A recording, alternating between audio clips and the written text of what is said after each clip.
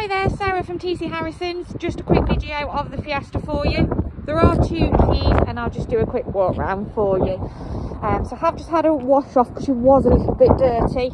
Um, zoom out so you can see her. Alloy wheels for you. And down the back. Fuel filler and that is nozzle straight in. There's nothing else to take off there. I'll just go down the side so you can see. Around the back of the vehicle for you. And then the alloy wheel for you. And then I'll just go to the front alloy as well so you can see that.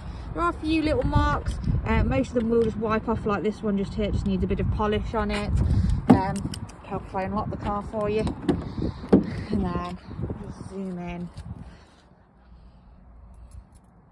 so that's all there for you. And I'll just start the car so you can see everything. Oopsie daisy.